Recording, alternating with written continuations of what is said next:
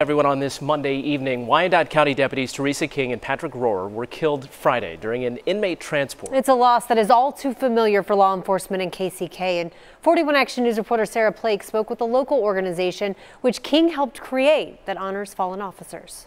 Deputy King spent a lot of her time here at the dot spot planning events to honor fallen officers. But little did anybody know that they would be honoring her. The law enforcement community grieves with each other when there's a loss.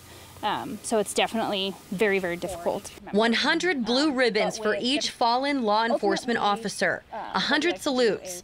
The words never forgotten etched on each one, which was Wyandotte County Sheriff's Deputy Theresa King's idea. And then the fact that uh, TK was a founding member of our association, you know, of, of, of our chapter. She was really passionate about this. King was killed in the line of duty along with fellow Deputy Patrick Rohrer on June 15th, before the Lancaster Melton Peacekeepers Group was able to launch its 100 Salutes effort. First, to honor Detective Brad Lancaster and Captain Dave Melton with KCKPD, and Clinton, Missouri officers Gary Michael and Ryan Morton. Our first salutes that are going to be presented are going to be to Deputy King's family and Deputy Rohrer's family. A tragic change in plans.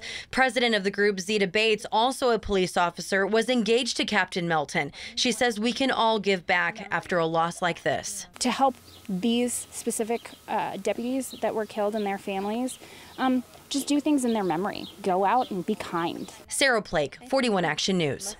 Deputy King's family will hold a visitation for her later this week in KCK. That is expected to start at 6 o'clock Wednesday night at the Jack Reardon Civic Center. A funeral for both deputies will be held the following day on Thursday. That starts at 9 a.m. at Children's Mercy Park in KCK. The public is invited to attend.